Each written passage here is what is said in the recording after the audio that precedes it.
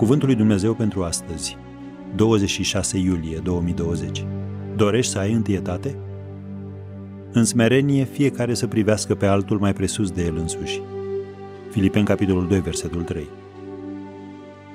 Dacă ești o persoană care dorește să aibă întietate, iată câteva versete din Scriptură menite să te coboare cu picioarele pe pământ și în genunchi la rugăciune.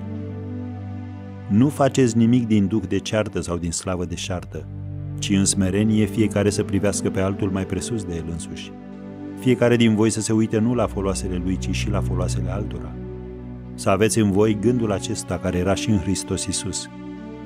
Am citit din Filipeni, capitolul 2, versetele de la 3 la 5.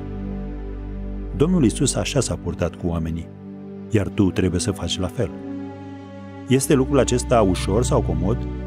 Nu, ci este contrar firii noastre egoiste. Și faptul că ieri ai dat dovadă de bunătate nu este o garanție că și astăzi te vei purta la fel. Bunătatea este ca o îmbrăcăminte. Trebuie să o îmbraci în fiecare dimineață și să o porți toată ziua. Cum pot trăi astfel, întreb tu? Inspirându-te zilnic din bunătatea lui Dumnezeu, hotărându-te să-i pui pe ceilalți pe primul plan și căutând modalități de a-i susține și de a-i încuraja.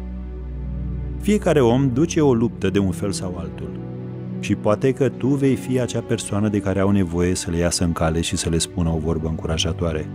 Vezi Proverbele, capitolul 16, versetul 24. Așa că nu-i dezamăgi. Smerenia este o atitudine pe care ți-o stabilești dinainte, prin care spui, îmi pasă de cei din jurul meu. Nu trebuie să fiu eu întotdeauna pe primul loc. Voi ajuta pe altcineva să fie biruitor.